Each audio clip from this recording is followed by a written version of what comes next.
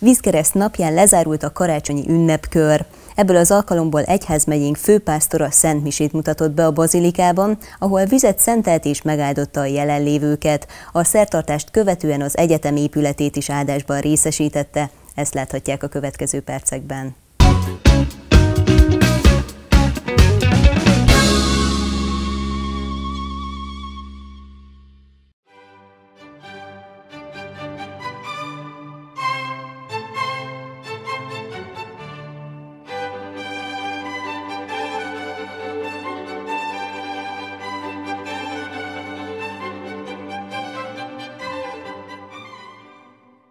A mai Szent Mise egy kicsit máshogy kezdődött, mint ahogy általában megszoktuk.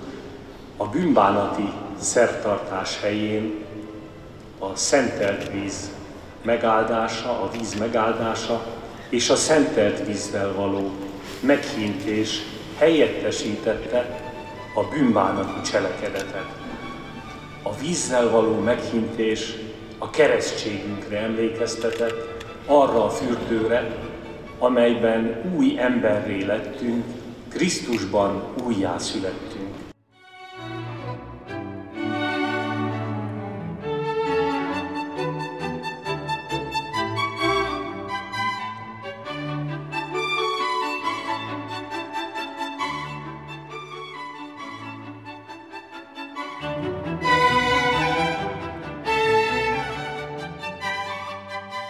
Három csodát ünneplünk ezen a szent napon.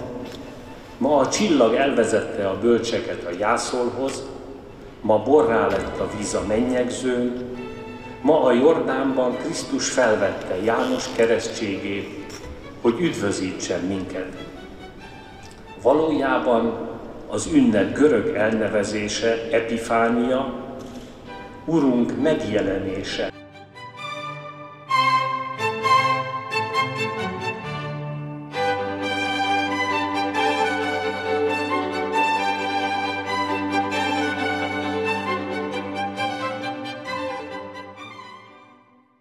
Amikor Eszterházi püspök megépítette az egyetemi házat, gondja volt arra, hogy felszerelje egy csillagvizsgálóval is, amely mind a mai napig különleges és egyedi tudományos kuriózuma egyetemünknek. Lehetőséget ad arra, hogy a teremtett világ méreteire és szépségére rácsodálkozzunk, és hogy abban ne varázslatot, hanem egy olyan csodát lássunk, amely kihívás az ember hitének és tudásának, sőt, még érzelmi világának is.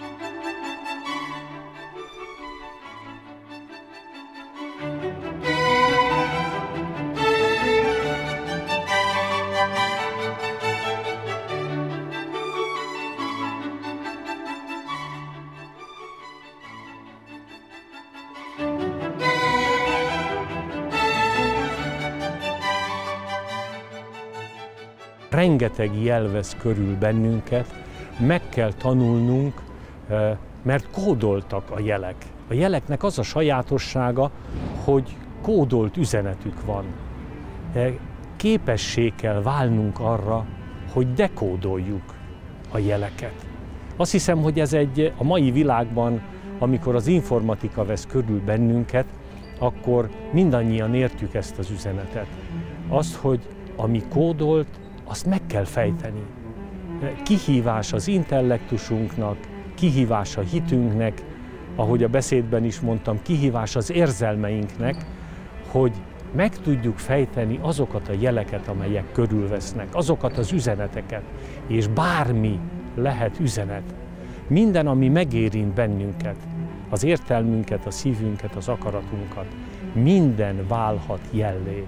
Egy találkozás, egy csillag, egy madár átrepülte, az, hogy felhőse az ég, vagy tiszta, bármi válhat jellé az életünkben, a mi érzékenységünk és a mi nyitottságunk határozza meg, hogy mi az, ami előbbre visz bennünket az életünkben, mi az, ami közelebb visz bennünket Istenhez, saját életünk középpontjához. thank you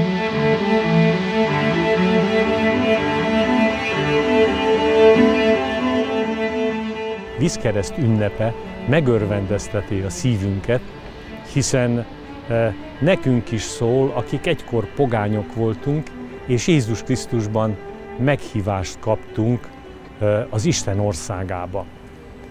Tudjuk, hogy ő, amikor megszületett, mint a választott nép gyermeke, a megígért király született meg.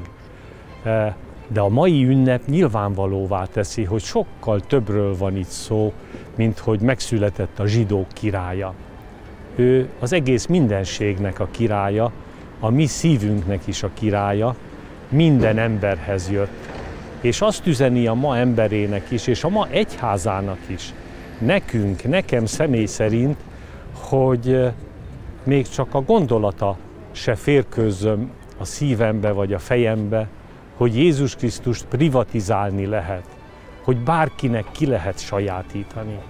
Jézus Krisztus nem a miénk, nem az enyém, mindannyiunké. Ennek a mai ünnepnek ez az igazi tartalma. Kiállt a világ elé, és megmutatkozott, és mindenkit meghívott az Isten országába. És hát ez örömmel tölti el az embernek a szívét. Meghívott bennünket is, egrieket, mindannyiunkat, hogy bátran lépjünk az ő nyomdokaiba.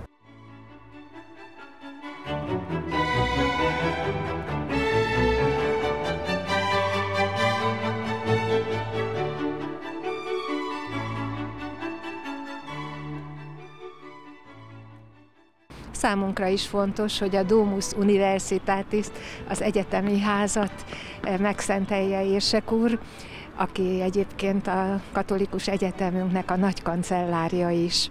Ilyenkor ugye felírják az ajtófélfára azt, hogy Krisztus eh, manzionem benedikát, az, azaz Krisztus áldja meg a házat. Nagyon fontos számunkra az, hogy hogy az itt élők, az itt dolgozók és az itt tanulók eh, fölött áldás van. A mai vízkereszti Szent Misén Érsek Atya szentbeszédében elhangzott, hogy a napkeleti völcseket is a csillagok vezérelték, és utalt arra, hogy a katolikus egyetemünk eh, születésekor gróf Eszterházi Károly püspök, aki az egyetemet építette, egy olyan korszerű csillagvizsgálót építetett, amely akkor a kor legmodernebb műszereit tartalmazta.